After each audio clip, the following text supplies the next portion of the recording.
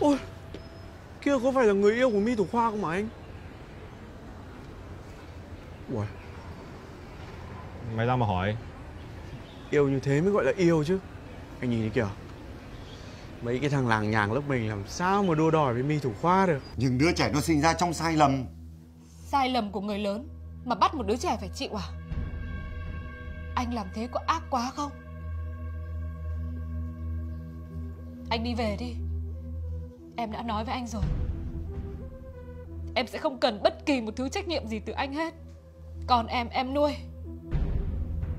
Em sẽ trân trọng nó Như trân trọng mối tình đã qua giữa chúng ta. Thực tế đi.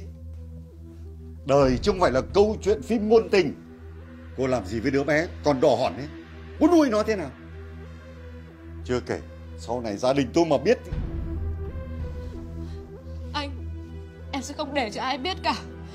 Em cũng không phá hoại hạnh phúc gia đình anh. Em không cần tiền của anh. Em chỉ cần Con có bố thôi. Đúng rồi, mắt nhìn xuống vai như thế, thế đúng rồi. Mắt nhìn xuống vai cơ mà. Mi ơi, mắt nhìn xuống vai cơ mà. Rồi ok, giữ nguyên nhá. Hai ba này.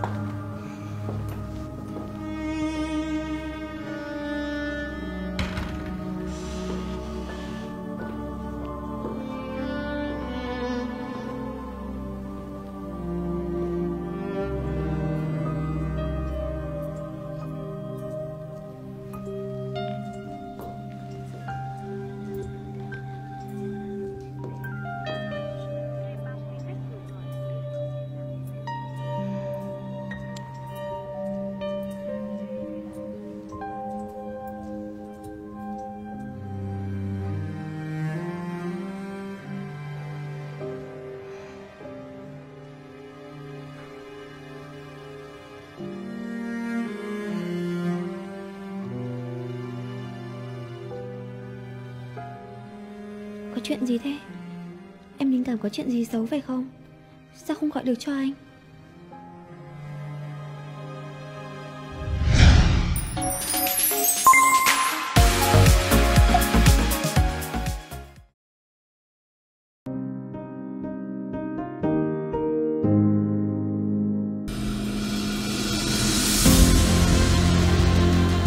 Vợ anh là số 1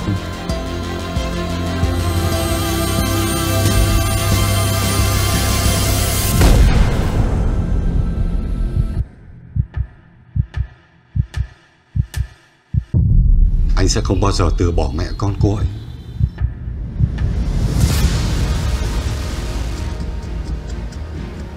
Tôi cảnh cáo cô Chuyện gì tôi cũng dám làm đấy.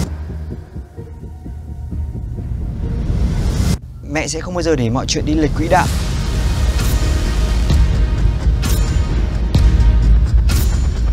Cứ từ từ mà tận hưởng đi Bây giờ mẹ càng làm Mọi thứ càng tồi tệ thêm thôi ạ. Dù có sai bao nhiêu Đáng trách thế nào Thì vẫn là bố mẹ của mình. Cháu sẽ chứng minh cho bác thấy là cháu xứng đáng với Mi hơn bất kỳ một ai khác